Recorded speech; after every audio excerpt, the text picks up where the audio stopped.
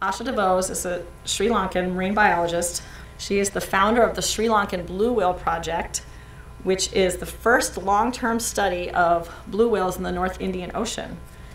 And her work has led to this whale being designated by the International Whaling Commission as a species in need of urgent conservation um, measures and research. So I'm going to tell you a little bit about my story with uh, the research that I do. Um, I work with this incredible population of blue whales uh, in the northern Indian Ocean. And um, um, I call them the unorthodox whales because they really break the stereotypes we had built for a lot of the species, the large whale species we had. And I'll tell you a little bit more about that in a second. But I want to start off by telling you a little bit uh, about how I actually began on this particular quest with the blue whales. A lot of people ask me, did you know it was going to be blue whales? How did you know? And I tell them, well, you know, it was very serendipitous.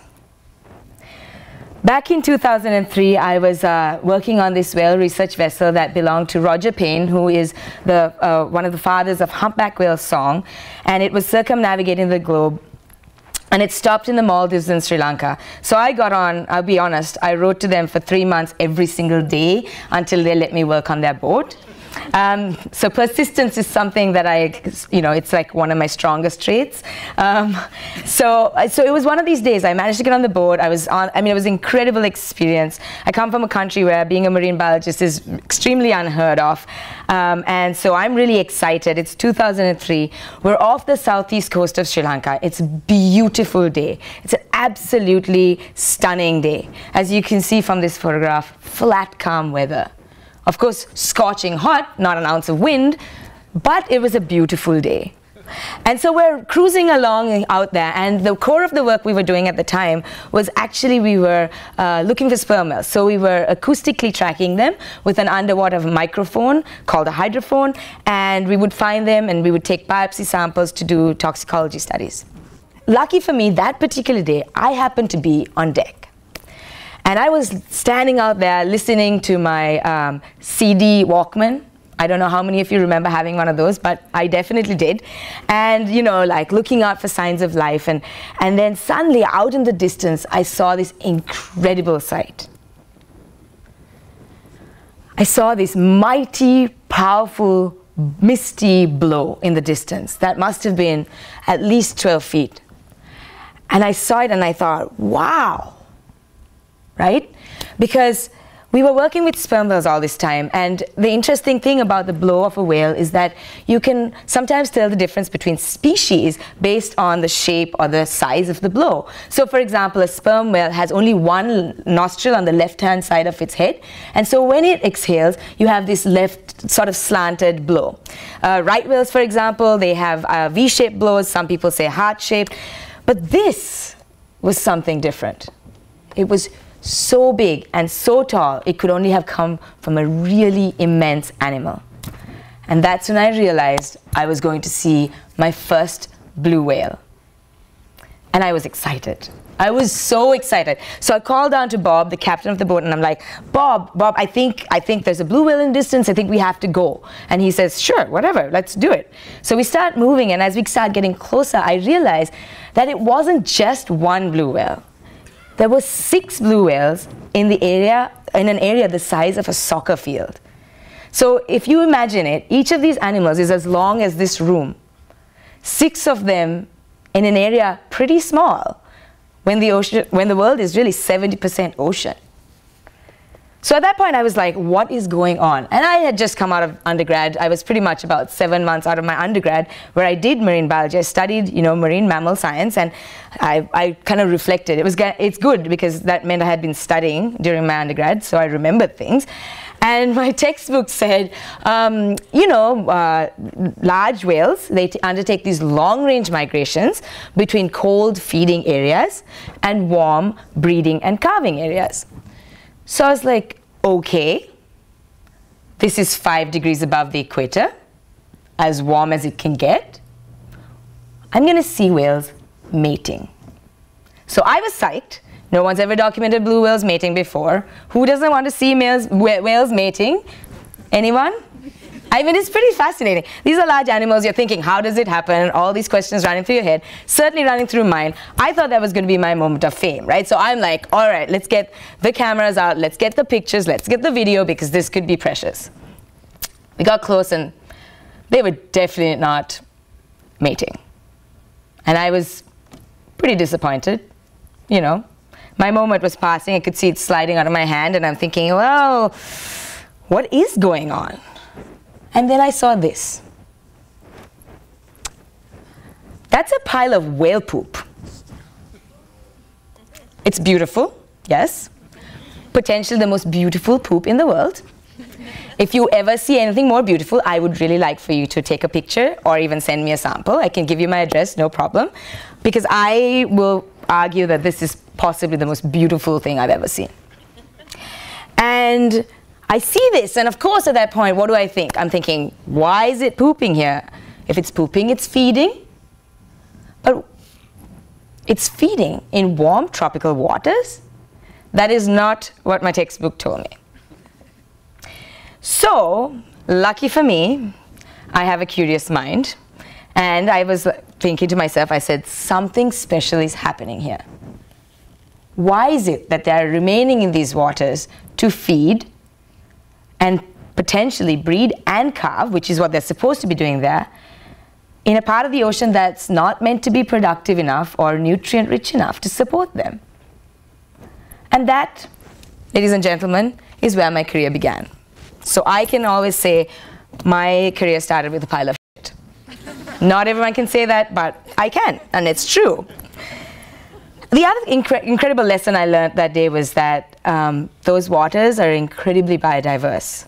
So I want to show you just a really short video of some of the species that we see. It's just a GoPro camera that we drop in the ocean um, off the side of the boat.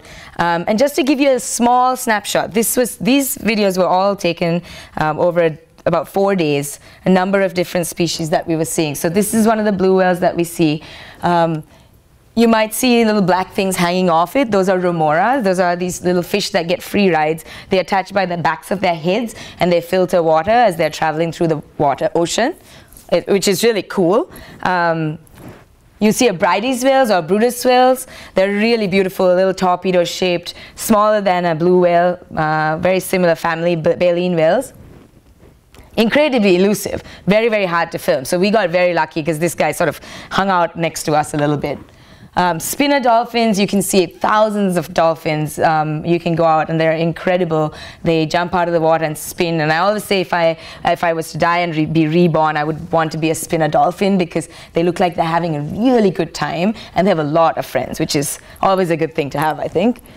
Um, and these guys, you can see they have very sharp, long beaks, whereas we also see bottlenose dolphins that have stumpier beaks. They're much bigger animals, a bit more robust. They also tend to stare you down when they're bow, riding, which is a little bit nerve-wracking. Um, unlike the spinner dolphins that don't really make eye contact, which is a little bit more comfortable. Um, but these animals are amazing. So this, you know, the oceans are full. Then we have these Risso's dolphins, and the video is a little bit, uh, um, it's not so great because they're really very hard to film. But these dolphins are really neat because they don't actually have beaks. So we always think of dolphins having beaks. These guys have rounded faces um, and lots of scratches all over their body. And it's cool as I've traveled along the, across the world and seen different populations, you see distinct differences. Um, our guys are dark gray with lots of white scratch marks. Off in California, where I've been for the last two years, they're mostly white and they have scratch marks. So very interesting to see these differences. We see turtles all the time. This guy looks happy and he's swimming around quite freely, but we also have rescued a lot of turtles that have been entangled in uh, um, um, fishing nets and rope and line. And manta rays, we see a lot of beautiful manta rays um, that swim through the water. And actually one of the other MCAF grantees, um, my friend Daniel Fernando is from Sri Lanka and he actually studies uh, the market of manta rays because they're killed for their gill rakers. And uh, it's actually a very, very sad story. And I'm not going to give you his presentation, obviously. Um, but these, these animals are incredible, and I, I, you know, I, I started to realize that these waters are so underexplored and there's so much beauty in it. And as we all know, you know, we live in this incredibly biodiverse planet. um, you know, species of animals and plants that have evolved over millions of years. And their survival really is such a precious thing to us because we get so much benefit from them. We get flood control, medicine, food, you name it. Our lives are so dependent on them. But unfortunately, uh, our planet is also facing an extinction crisis. If we look at the mass extinctions that have happened up to now, we've had five, and they've all been driven generally by um, natural causes, you know, asteroids or all these other phenomena. But right now, scientists believe we're going through what is called the sixth mass extinction. And the sixth mass extinction, I'm very sorry to say, has been driven by us, humans. In fact, if we look at um, global population declines in mammals and birds, remember mammals and birds are two of the most studied groups out there in the world. And you can see where there's red is where you have um, high population declines and yellow is where it's uh, lower population declines. But really, um, there are population declines happening, uh, happening across the board. And uh, WWF produced a Living Planet report just this year. And according to that, it said that um, over two human generations, um, all vertebrate, vertebrate species, their population sizes have halved. So we are facing trouble. The planet is in trouble, for sure. And we, we hear about species extinctions, right? We know there are some species that go get completely wiped out. Every single one of them is taken out of the face of this planet, um, such as um, the Caribbean monk seal. But in the oceans, this is not something that we hear of very often. And we don't know of a lot of species that have gone extinct. And that's not because there aren't many that have gone extinct, but that's because we don't even know what's out there to know what is going extinct. 70% of our planet is oceans, but 95, we've only really explored 5% of that. In that 95% space, who knows what's happening? But what we do see more of in the oceans is what we'd call an ecological extinction. An ecolo uh, ecological extinction is where you take out so many individuals from a population, but not all of them. Just so many that the remaining few can't actually interact with their ecosystem properly and they can't actually play the role that they would naturally play. So just to explain that a little bit better, I'm going to bring out the classic example of the sea otter. Okay, this is a most simplified food web for the sea otter. But if you look at this, you'll see sea otters are known to eat sea urchins. Sea urchins feast on kelp. And so this keeps the ecosystem in balance. Um, as long as we have all the sea urchins that control the sea, sorry, the sea otters that control the sea urchin numbers that then don't overgraze on the kelp. But back in the 1800s, us humans, we discovered that sea otter pelt is incredibly warm. In fact, sea otters have the densest fur of any, densest hair of any animal. They have 1 million hairs per square inch. Compare that to a human, we have about 100,000 hairs on our entire heads. So it's extremely dense, extremely warm. In fact, sea otters don't even have blubber because their coats are so warm that that's all they need. So in the 1800s, of course, uh, there was a big um, hunt for sea otters for their, and their pelt sales. And you can see the pelt sales in the London fur market, they sort of start to rise up to about 1884. And then there's this distinct decline in pelt sales in the London fur market. Now, this is not to say that the sales decreased. What it actually shows us is that there were so few sea otters left in the ecosystem that there weren't that many pelts for sale. Luckily, in about 1911, there was a treaty that was signed, and um, of course, the sea otter hunt was banned. But what happens when you take out sea otters from the ecosystem? Sea urchins run buck wild, and they consume all the kelp, they destroy all the kelp beds, and you end up with what we call an urchin barren. So the problem here is that kelp is actually really important for a lot of species. It's nursery grounds for a lot of species. Some of the fish that we eat actually use that kelp uh, forests. And so when you take them all out, it's really disturbing the ecosystem. But lucky for us, of course, with the 1911 treaty and uh, this uh, ban on hunting of sea otters, that meant the kelp was able to come back and the ecosystem has started to go back into balance. But what I'm trying to say here is that ecological extinctions of this nature are something that we see much more commonly in the oceans. If we look at predatory fish populations like uh, billfish or tuna, marlin, for example, what we see in our oceans today are only 10% of pre-industrialized levels. This is the same case across the board through the Atlantic, the Indian, the Pacific, the tropical, subtropical, and temperate oceans. We are seeing exactly the same thing. What we see in the oceans are only 10% of pre-industrialized levels. So how that affects the ecosystem, we still don't fully understand.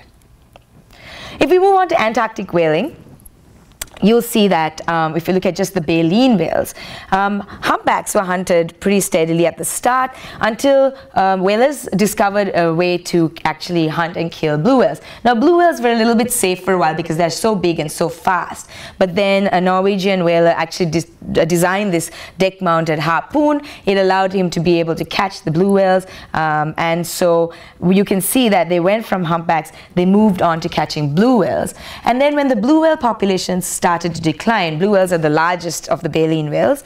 They, when it became commercially unviable for them to keep hunting these, they moved on to the next biggest, which were the fin whales. When the fin whales started to decline, they moved on to the sei whales, and then they went from the sei whales down to the minke whales, which are the smallest baleen whales in our oceans.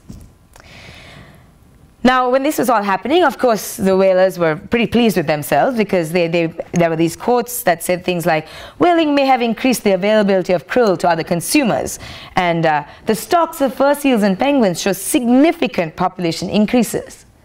Now, we all know the ocean is not that straightforward, right? You take out a predator, it doesn't mean its prey is proliferating in huge numbers, because it's a little more complicated than that. But most importantly, by taking out whales from the ecosystem, we're disrupting the entire ecosystem because whales are what we call ecosystem engineers. Their presence actually helps to mold how the ecosystem works. It determines the presence and absence of all the other species that e interact in that ecosystem. So just to give you a sense of that, when a, uh, when a whale dies, um, its carcass will float at the surface for a very short time and it becomes food for a number of species. And then after that, it starts to sink. And as it sinks, it goes sometimes to the deepest depths of the ocean, 4,000 meters deep, places where there's very little or no food available. So there are these species like hagfish that are specialized to feed on whale carcasses, and they wait for this manna from heaven to just drop so they can feed on it right? So what happened when we were whaling is that, so this is nutrient cycling vertically, and when when we started whaling and we started taking the whales out of the ecosystem, we, dis we disrupted the abundance and distribution of these carcasses that were available to these species. And so we may have even driven the extinction of a number of species that were highly specialized to feed purely on these whale carcasses. Now, global blue whale populations have faced uh, number of threats. The most one in the the biggest one in the past was whaling, and we'll be all, we are all happy to know that that's really not the biggest threat to whales in the oceans anymore, uh, thanks to the moratorium on uh, on whaling. However, there are a number of other threats that they do face. Climate change, pollution, entanglement, bycatch, those are all significant problems and threats to these animals. But the problem with these are they're not so straightforward to solve, right? If you think about the whaling problem, the whales, there were people hunting whales, you stop the people from hunting whales, the whale populations can start to recover. But there are other threats, like all of these. It's a toxic mess of threats in the oceans. Now, with climate change, for example, where do you start, right? Where do you start to address the problem? Even with entanglement and bycatch, Sure, they're getting entangled in nets, but we don't always know the source of the net. So how do we stop that from happening? But there is one threat that is actually fairly tractable, and that is ship strike.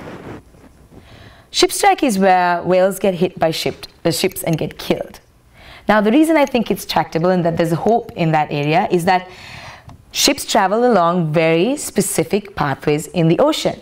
And if we can identify where those pathways are and where they overlap with whales, we can come up with ways to reduce that risk to the whale populations. So now, to tell you a little bit more about that, that's the focus of my work, I'm going to take you across the world to this beautiful tropical island in the Indian Ocean called Sri Lanka.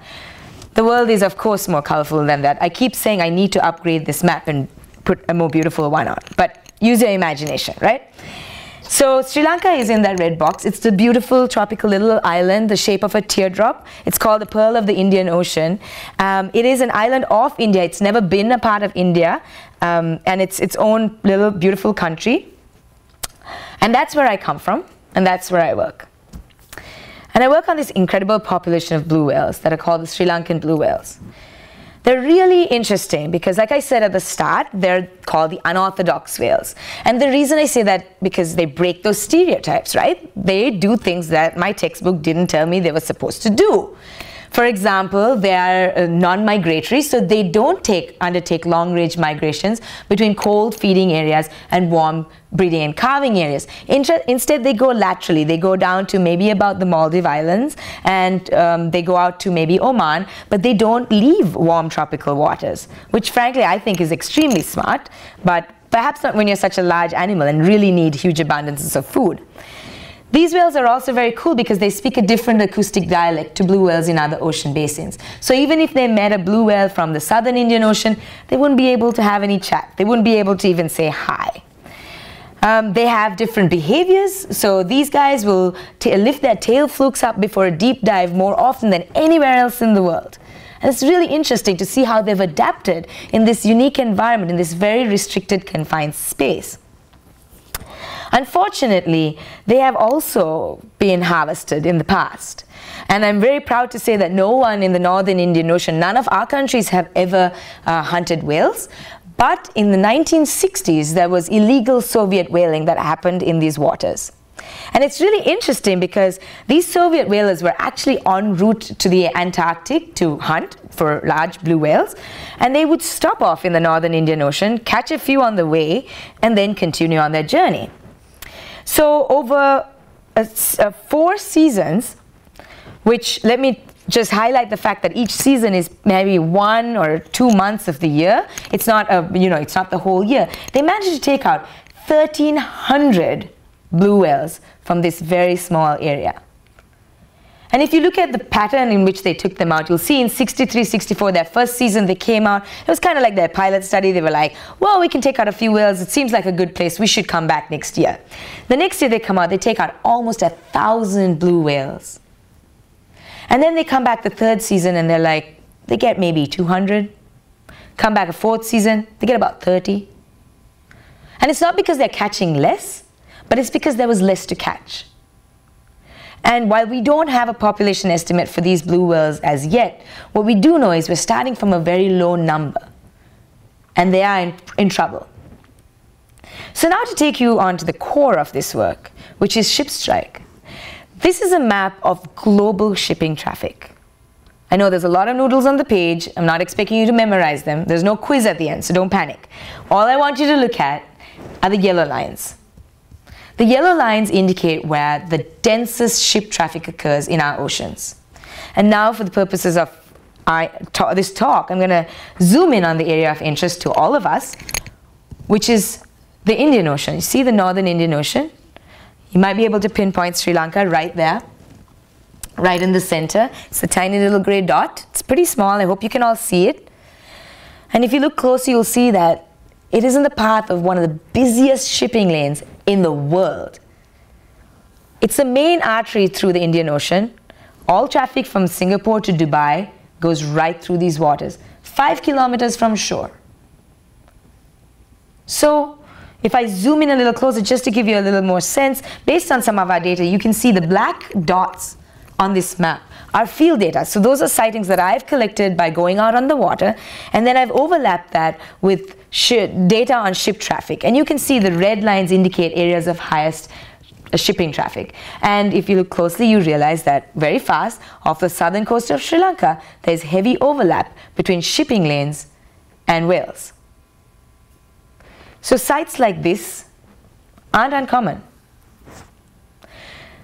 This is a blue whale that came wrapped on the bow of a container ship into the main harbor in Colombo in Sri Lanka back in March 2012. We know that it was killed on impact by, from a ship because it was a pretty fresh carcass showing signs of internal hemorrhaging. This isn't an uncommon sight. This is not a one-off. 12 days later, we found a carcass floating at sea that had a huge propeller gash on it that was very indicative of ship strike. So evidence like this is not that common for us because what happens quite often is when a carcass gets hit and killed, uh, a whale gets hit and killed, the carcass will either sink or it will get circulated further offshore. But two in the space of 12 days. Of California, they've done uh, estimates and shown that for each one that we document, at least 10 are going undocumented. So it's a significant problem. And in fact, ship strike is the biggest problem facing all whales in the oceans today. So how do you resolve something like this? I know I was really optimistic at the start, and my personality tends to be optimistic, and I actually believe if you're a conservationist, you sort of have to be optimistic because all you ever do is write obituaries of all these species and the planet. It could be terrible if you didn't have optimism. But I am optimistic about resolving this threat. I think it is actually possible, and it has been done in certain parts of our world. So what we're trying to do right now is, um, and we're at the tail end of this study, is we're looking, we're building these things called species distribution models. So what we do is we take data on where we know the whales are, and we overlap it with um, um, environmental data. And so it tells us, okay, what are the conditions in these places where these whales are being seen? And then we use a computer algorithm building this model and we predict where the species can, should be distributed outside the areas that we can go and study. And we kind of come up with what we call a species distribution model. And here I'm going to show you a very preliminary model. The data, this has been upgraded since, but it's a pretty good representation of what this work does. So you can see in this map the black dots. The black dots represent all the sightings we've collected, whaling data that we've collected over, the, over time, and also some uh, data collected by other teams that have done surveys in the area. And that's the data we used to overlap with, with to bring together with the environmental data to pr produce this heat map. And the areas which are bright red are essentially where we believe that there should be high densities of whales. So the next step of this is to assess risk. And how we plan to do this is actually based on some work that's been done, uh, that was done off Southern California. So uh, all the people who worked on that problem in Southern California, which is ship strike, um, are now working on my project with me. So it's really great because it's this transferring of skills and I don't have to reinvent the wheel where, and it makes things a lot faster than if I, we had to relearn and start from scratch. And so what happened in California, it's, it's a little bit different, but you'll see where the similarities are. So here's a map of um, tanker vessel traffic density of Southern California. And um, the black dotted line you will see uh, inside of that towards land is where um, they set this rule called the CARB rule. So what they said was if a ship or a tanker wanted to come close to shore, they had to switch from the inefficient fuels they were using to cleaner, more efficient fuels. So after a while, the ship captains were like, well, this is actually a little bit more expensive than if we were to just move further offshore. So instead, that's what they did. Instead of switching fuels, they just moved further offshore. And you can see those orange and red lines, those squiggly lines are actually uh, real data of ship tra uh, tracks. The red area is where the highest density of ship tracks are. So you can see now there's a lot of ships that are using this particular zone just south of the, um, the islands out there, the Channel Islands. And so when this happened, a lot of people were like, wait a second, there's all these whales here. What's, the, what's happening with the whales? If you just shift your shipping lane as you please, how does that impact the whales? And so they did a risk assessment for humpbacks. And here's the result. So you can see this is exactly the approach we're using for our blue whales. The black dots indicate sightings, places where they know the whales exist. This is for humpback whales. The pink and the coloration shows different densities of the predicted densities of the whales. So pink is where they're predicting there'll be high densities of humpbacks and as you go all the way down to the light blue you'll see a reduction in the density. So that's the expected reduction. And if you look carefully you'll realize that the original shipping lanes that went really close to shore were potentially a worse problem for the whales than where the ships are traveling now. south of the Channel Islands. So it actually ended up being a pretty good win for these humpback whales. And you'll see the relative risk for this species really did decrease with this shift in shipping lanes. And it decreased for blue whales as well. It's a different story for fin whales, but this study was done specifically for humpbacks and blue whales. So that's just to give you a sense of the science that's going on behind the scenes to try to make these changes, right? But the key thing for me is that science alone doesn't change the world. Science alone isn't going to push policy, change what people think, save animals. So I want to tell you a little bit about how I've kind of pushed this along, um, wearing my three different hats. I wear the hat of a scientist, then I quickly swap it and wear the hat of a outreach educator, and then I wear the hat of a policymaker or working with policymakers. So just briefly, I want to tell you what's been happening over the last few years. Back in 2011, um, a TV company called Channel 7 in Australia came out to Sri Lanka and they did a short documentary on my work. To date, it's been watched 5 million times around the world, which I think is pretty incredible. And the key thing that happened as a result of that was I've had thousands of people from around the world, mostly Sri Lankans, writing to me and saying they didn't know we had whales in our waters before they saw this video which is incredible. Because how on earth are we supposed to protect them if people don't even know they exist? Right? So the first step really is about creating that awareness and getting people on board because conservationists, I mean, I can't win this battle on my own, and I know that. I need all of you, I need as many of you to come on board and understand the problem, which is why I take the time to tell this story to everybody. I started a blog called The Unorthodox Whale. I opened a bunch of social media. I use Facebook, I use Instagram. And that's because I want people to see the adventure, what it's like. Not everyone gets to do it. So I want people to join in in any way they can, to interact, to be able to ask questions. And that was the key thing about getting into social media for me. Then in 2012, the New York Times did a, a short video called Saving Blue Whales about my work. And funny enough, two weeks later, the fisheries minister in Sri Lanka, he made a statement in the newspaper and said, well, we can't be shifting shipping lanes just because whales are getting killed. At that point, I could have sulked. I could have felt defeated. And I did momentarily. It passed.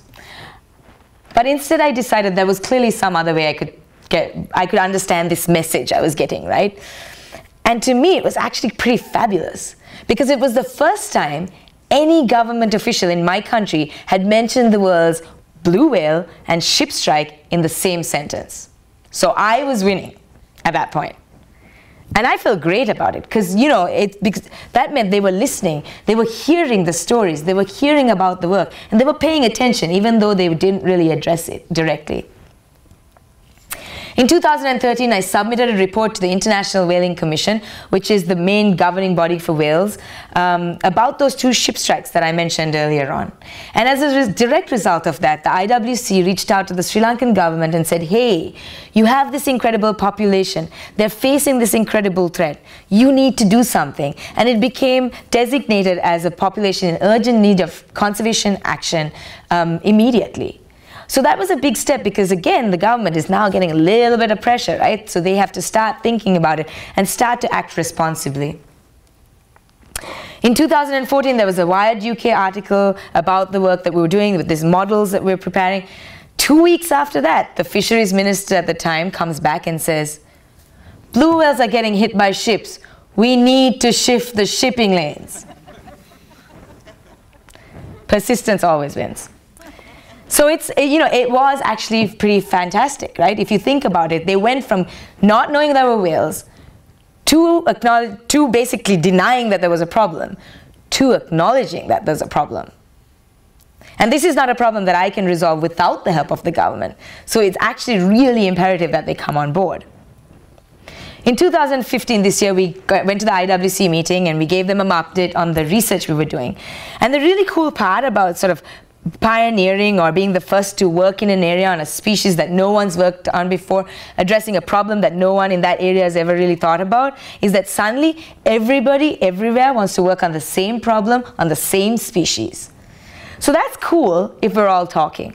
And in fact, next week, um, on the 18th of November, I'm having a large group meeting with my team and some of the other teams that have now come in to try to address this problem their own ways. So this is great. We've got now more scientists also talking about it as a problem. So it's not just this crazy little lady talking about whales getting killed by ships. There's other people out there also talking about it as a problem. So that's actually a huge thing. And in February next year, we're actually going to have a big government meeting. We're going to give them the rec recommendations of our findings and then nudge them slowly to prepare a proposal uh, for the International Maritime Organization that's actually in charge of shifting shipping lanes in our oceans. So really this whole story is about not just about the science, but it's about how science is an incredible tool to make change, to make positive change. And for me, that, that has been the biggest lesson and the most fulfilling part about it is being able to address audiences like you, get you excited, make you think about this, and have you tell other people about these problems. The more people know about what's going on. I mean, unfortunately, the ocean is like, a lot of people see it as this big blue tank of water and they don't take the time to lift the lid and look inside because there is so much magic and we might lose it before we can do anything. So it's really important for us to tell the stories and talk about it and think about how we can make the change because ship strike is all of our problem. 90% of everything is shipped. Look at yourself right now. How much of what you're wearing today is locally sourced?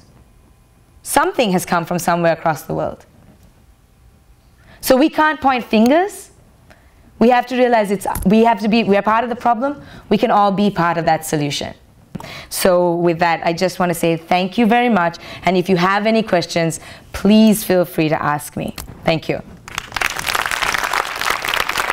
So the, that's a great question. Uh, first of all, how do we know that uh, things have changed for the better, essentially?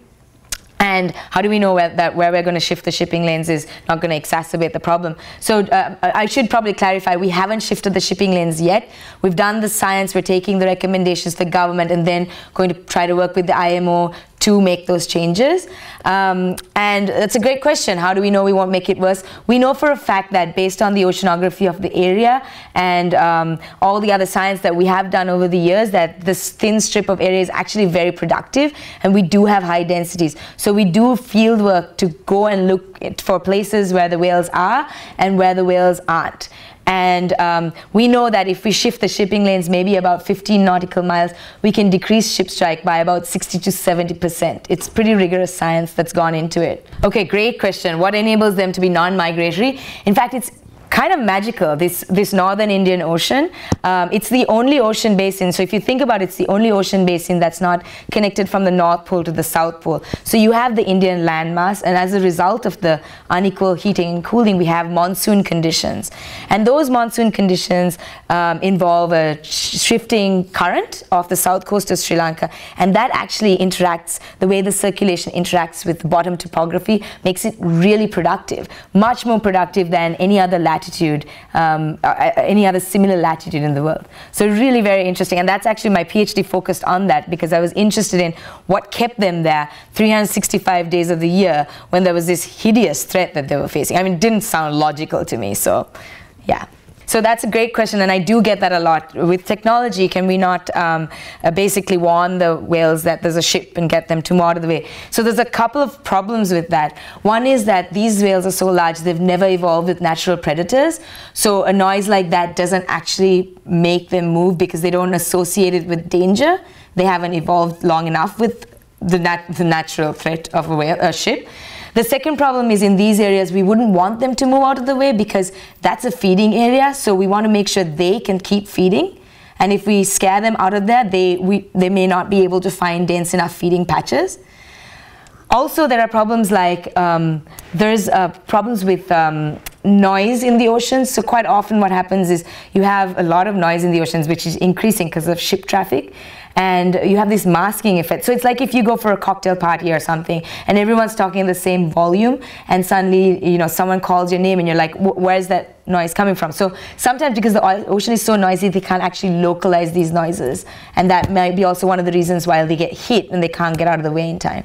So there's a few issues. Uh, that's something that has been looked at a little bit. And I'm not saying it's not a solution, but we need to try to figure out how we can go around those small issues to resolve it. So, how many whales are there? Okay, th that's a great question too. So that's something we're trying to figure out at the moment. Um, we don't have an estimate. We think we're starting off, like I said, because of the whaling. We think that maybe we started off with maybe about 1,500 at most. Um, but we use photo identification. I don't know how many of you know what that is, but it's where you take photographs of characteristic markings on certain body parts.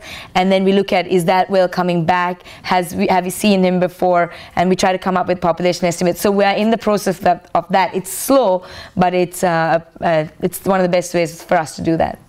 So that's a great question. Can like are there do we have satellite tagging programs?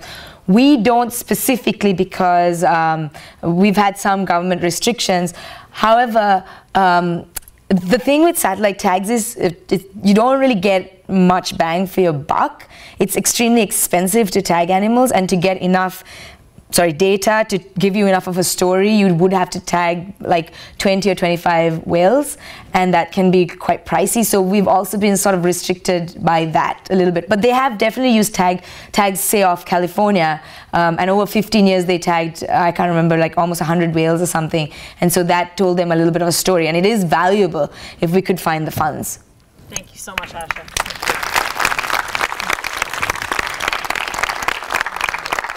What's that? Chow time. That's what that is. That is a very, very big lion's mane jelly, and they are absolutely delicious, apparently. so I'm told. so as you can see now, um, leatherbacks are not the cleanest eaters. This kind of reminds me of my almost two-year-old, in fact.